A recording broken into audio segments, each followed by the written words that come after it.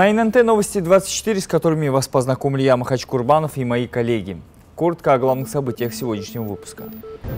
Пляжный сезон в разгаре. Можно ли отдыхать на морском побережье Дагестана и чем это грозит? Об этом вы узнаете в материале нашего корреспондента. В Дагестане идет борьба с нашествием азиатской саранчи. Скоро в кинотеатрах Махачкалы выходит к показу полнометражный дагестанский триллер. Дагестан всегда относился к курортным регионам. Туристов не раз призывали рассмотреть побережье Дагестана как один из вариантов пляжного отдыха. 500 километров береговой линии, прекрасный золотой песок, хорошая морская акватория – Однако надзорные органы республики бьют тревогу и заявляют, что пляжи находятся в крайне неудовлетворительном состоянии, а морской песок кишит паразитами. Что происходит на самом деле на территории Приморской зоны, разбирался наш корреспондент Замруд Гамидова. Люди посещают пляж сотнями, ни на какие призывы и предупреждения не оглядываются. С утра до поздней ночи пляж битком забит людьми.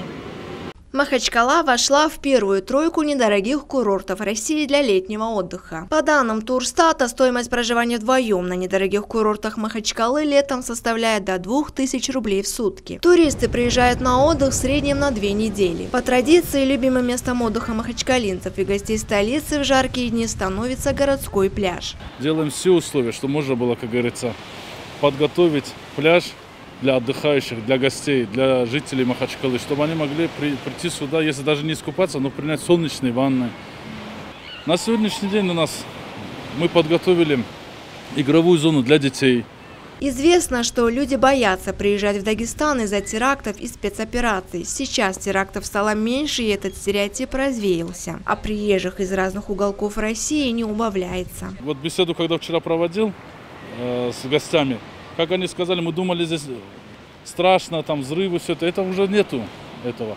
И можно сказать, что больше понравилось им здесь, чем где-либо отдыха вот, на северокавказских курортах. Однако в управлении Роспотребнадзора республики бьют тревогу и не первый год заявляют, что купание на пляжах Махачкалы категорически запрещено. В пробах воды из Каспийского моря, взятых в районе Махачкалы, обнаружен холерный вибрион, который является причиной острых кишечных инфекций. Санитарные врачи полагают, что причиной появления бактерий стали неочищенные источные воды, поступающие в море. Такое состояние приморской зоны обусловлено низкой культурой населения и отсутствием финансирования природоохранных объектов. Основным источником загрязнения воды является это канализационные сбросы в черте города Махачкалы. Постановлением главного государственного санитарного врача по республике Дагестан э, э, введено ограничение купания на городских пляжах. У каждого человека милиционера не поставишь, люди все равно будут купаться, но э, своим решением мы предупреждаем население о том, что есть вероятность заболевания острым кишечной инфекцией. Людей это не пугает. Что касается пляжа Березка, здесь отдыхающих не меньше. Дети плещутся в воде на специально огороженной территории, взрослые загорают и купаются. Песок тут выглядит чище, а мусорные контейнеры пустые. По словам персонала пляжа, уборка здесь проводится два раза в день. Тем не менее, добрая половина отдыхающих вообще не придает мусору никакого значения. Он даже служит удобным поводом, чтобы не убирать за собой, якобы там и до них было грязно. Но ну, мы стараемся все условия для наших отдыхающих. Все раздевалки, ногомойки, душевые, все работают, медпункт, врач постоянно дежурит, спасатели. Уборщица убирает технички практически целыми днями пляж. Единственная просьба была бы, наверное, нашим посетителям пляжа – но ну, можно немножко хотя бы за собой убирать. Везде урны, но не там, где убирают чисто, а там, где не ссорят. Если даже делаешь нашим молодым людям, девушкам замечание, ответ только получаешь хамство. Свои почти 80 Лидия Михайловна полна сил и энергии. Это, по ее словам, во многом благодаря Каспийскому морю. Хорошо все. Люди хорошие здесь, очень хорошие люди. А пляж, состояние пляжа? Пляж нормальный нормальный. Дети приехали с Москвы, внуки.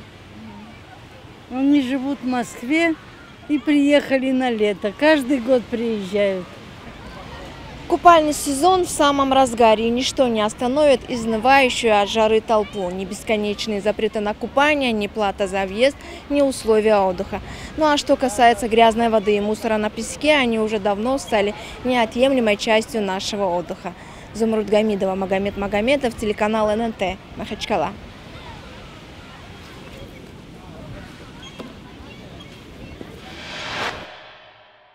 Саранча, как вредитель, уничтожающий растения и посевы, не раз посещала Дагестан в летний период, угрожая сельскому хозяйству республики.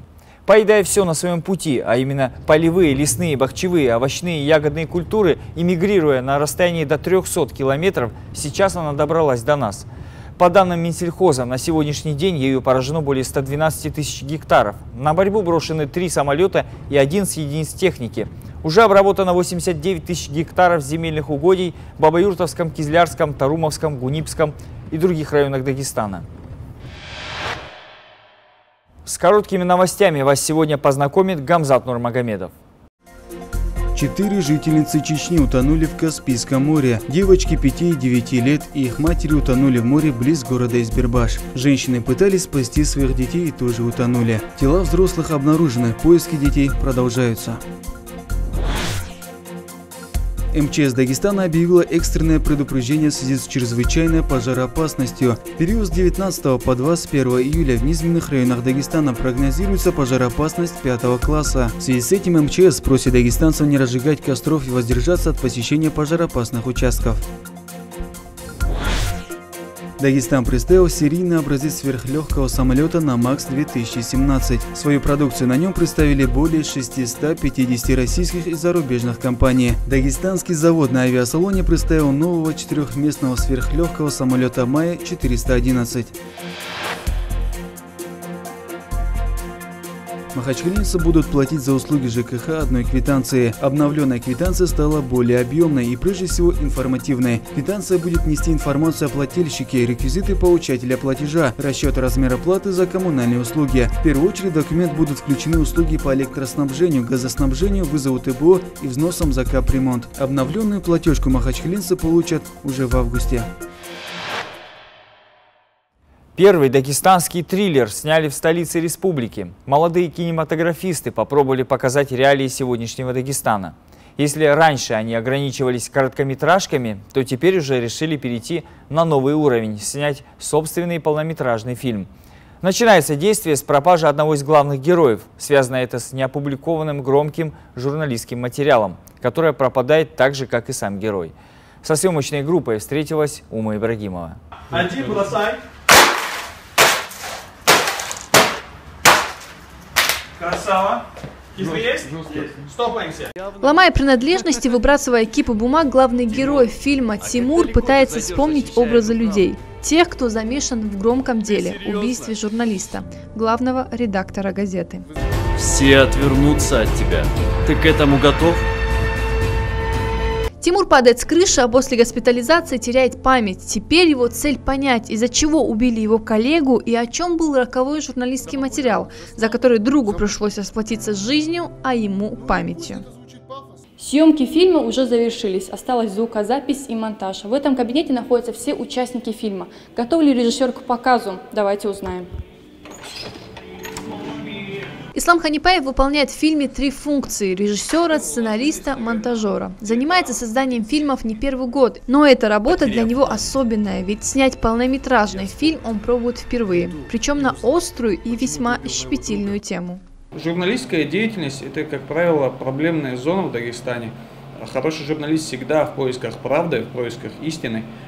И поэтому, конечно, мы решили, что самым луч, самой лучшей возможностью показать Дагестан будет э, возможность показать его через работу журналиста, через работу объективного журналиста, принципиального журналиста.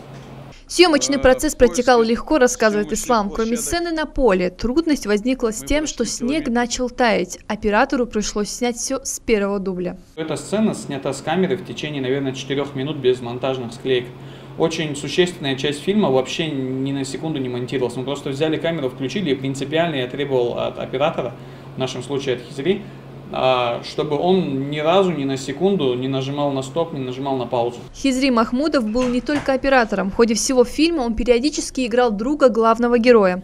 Играть, признается Хизри, не так сложно, как подчищать многие кадры, то есть корректировать неудачные цвета. И что самое сложное, убирать отражение в зеркале. Были моменты, где нужно было замазать где э, мы появляемся в отражениях очень часто там. Там очень много зеркал, окон, и мы постоянно вот появляемся в отражениях. И вот была вот эта большая головная проблема это все спрятать. Поэтому я, можно даже сказать, занимался большей частью именно вот клинапом, чисткой. Все, спецэффектами я не так много занимался, даже как вот чисткой. Студентка Института кинематографии Зарина Пашнина предложение сняться в фильме в роли жены главного героя приняла сразу. Но едва ли девушка ожидала, что во всем фильме будет только ее голос. Героиня фигурирует лишь как лицо, с которым Тимур периодически говорит по телефону ты должна передать все эмоции, все свои чувства и э, именно своим голосом, чтобы зритель тебя понял, не видя тебя на экране. Мне кажется, оно будет сложнее, нежели э, зрителю видеть ну, визуальную картинку. Для Зарины и практически для всех актеров до сих пор остается секретом, чем же закончится фильм. Режиссер не раскрывает всех карт до первого показа. Искать меня придется в своей голове. А там тот еще лабиринт. Ума Ибрагимова, Магомед Магомедов, телеканал ННТ, Махачкала.